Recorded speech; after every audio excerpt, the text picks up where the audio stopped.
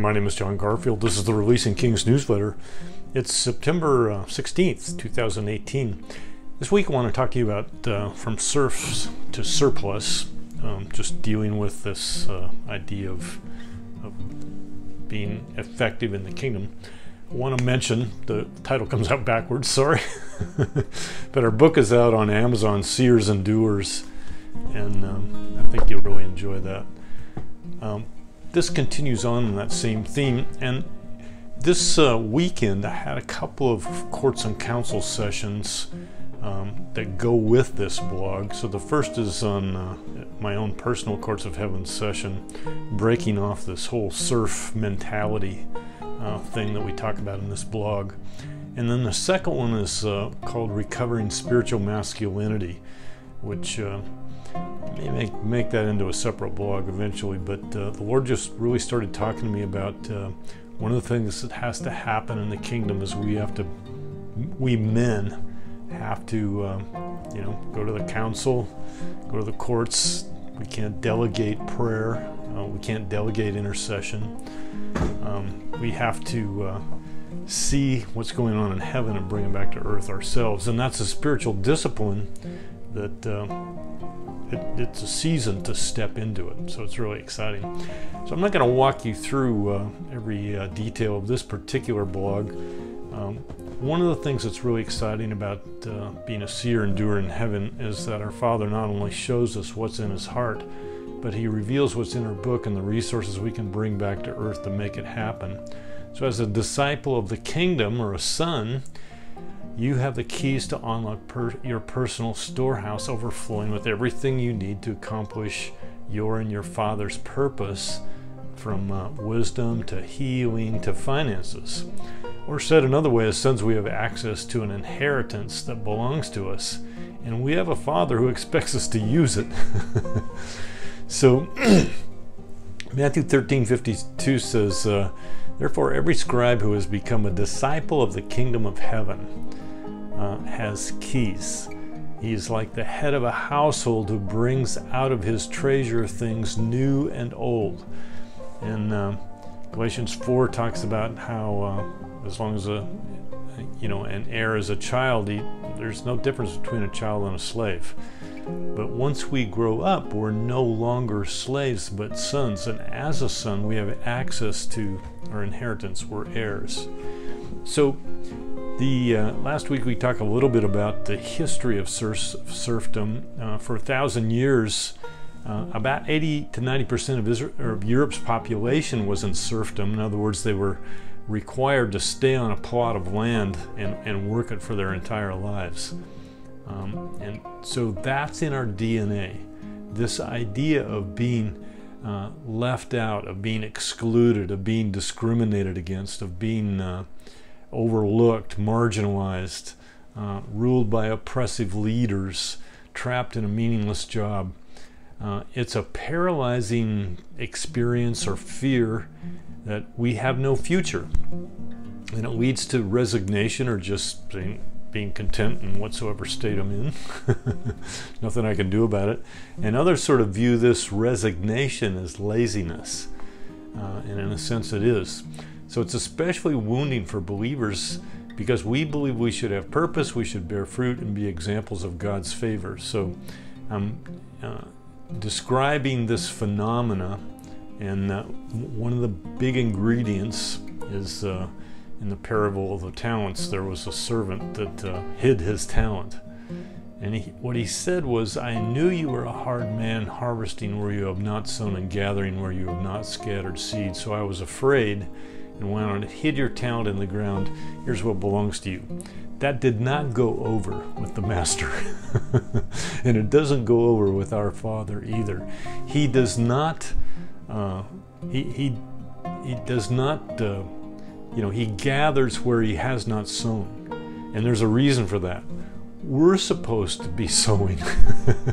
We're working with our Father. We're doing what the Father's doing our Father never intended to do everything. Um, so this idea that you know there's something left for us to do, a son finds that exciting and engaging, and he's happy to raise his hand and volunteer. So there's a sense that the nature of serfdom is that generationally and personally, uh, we agree for it. Okay, it's it's in our nature, it's in our DNA, but more than that, we uh, submit to that lifestyle and to the oppression that goes with it. And there's a love of the deception and the subjugation uh, in serfs that is you know you cannot just talk people out of it. You cannot talk you know i was not able to talk myself out of it. You know it was it was something that took a courts of heaven session to break it off.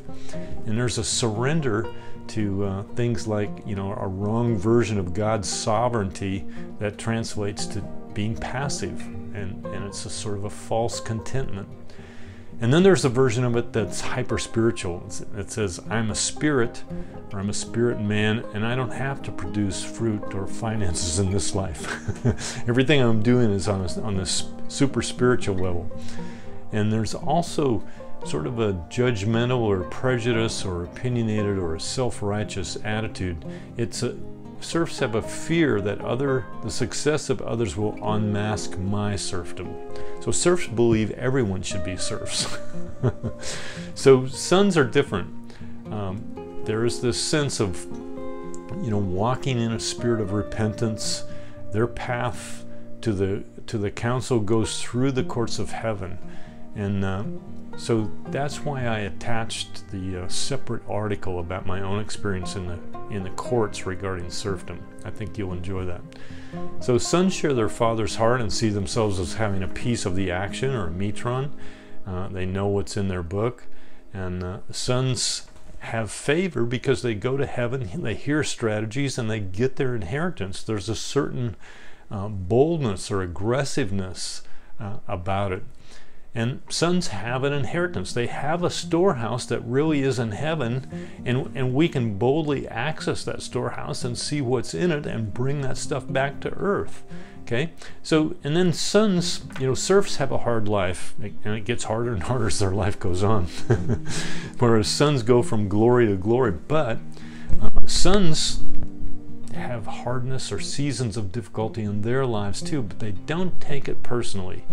Neither height uh, or success nor depth, which is failure, can separate them from the Father's counsel. That's the one thing, rain or shine, sons do is they show up in the council, they see what the Father's doing, and they hear the strategies in heaven.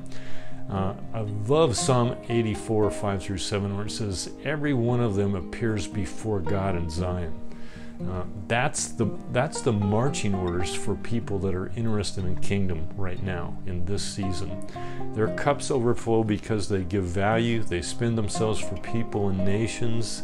They're not just fellowshipping with their Father; they're doing what He's doing, and that resonates with men.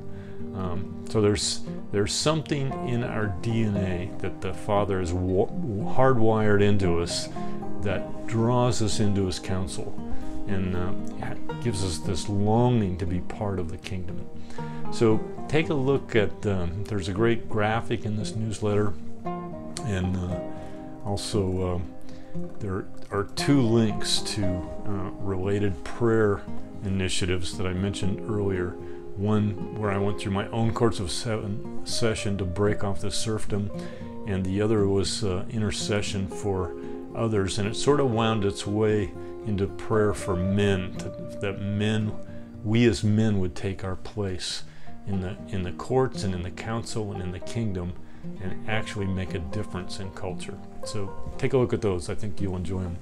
Have a great week, Father. In the name of Jesus, I'm releasing your people to access the courts and the council of heaven and to bring heaven to earth, Father, to uh, make your name great on earth. And I'm lifting up our president. I'm lifting up this nation. And I'm asking, Father, for a reformation that would sweep around the world. We lift up the Netherlands and Europe. And uh, Lord, we're excited. I'm going to Berlin in about two and a half weeks, and we'll spend uh, most of a week in the Netherlands as well. Um, just releasing kings, uh, praying in the courts and councils, and teaching people on uh, seers and doers. So if you haven't got a copy of uh, Seers and Doers yet, take a look. It's worth it. This is a, a great starting place uh, for, for you to activate your seer gift and to enter into the, the courts and councils of heaven and bring back your inheritance. God bless. Have a great week. Love you.